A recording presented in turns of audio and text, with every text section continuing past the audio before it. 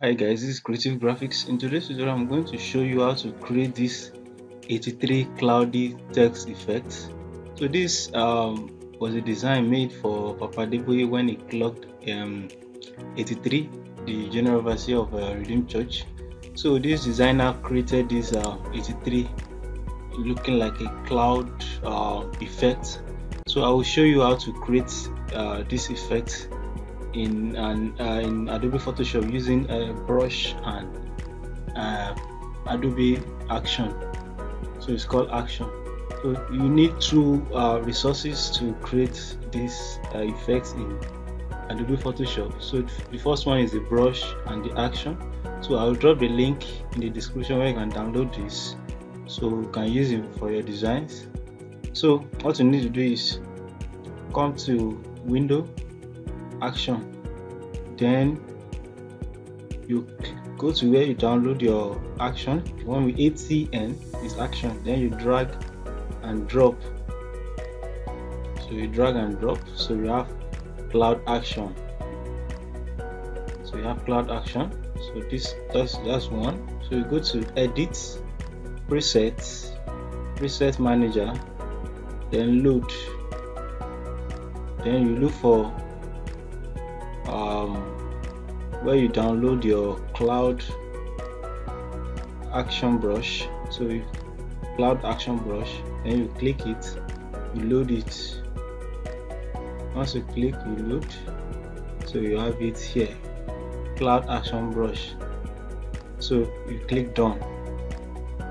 So here you have it. Then you come here you scroll down to where you have your brush so these are the brushes. So let's create the text effect now. Solid color. I'm going to create a kind of sky blue background with gradient. So here you have it. Then text. So we are going to have 83 so you need something smaller. Not really big just do something small. Can expand it later so you make sure you use a light font. So i'm using popping poppins light. So this is fine. And you come back to your brush. Then you select any brush of your choice. So i'm going to select this. Let me check one that is full. So i'm selecting this one with 200 pixels. So okay let me increase opacity or you can leave it. This is a preset. Leave it to 62 then you come here. Click the 83 click the action brush. The action button. Click the bold clouds. Then you click play.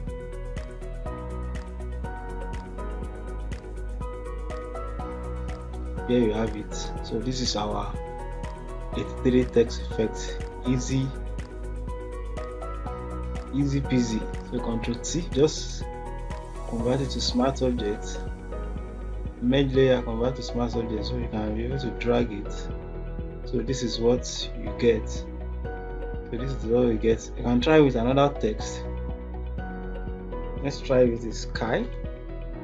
Always make sure your font is smaller. So let me try with a font called monoline so the script font so sky so then select your brush. Now with 200 pixels and we go back to action brush bold cloud.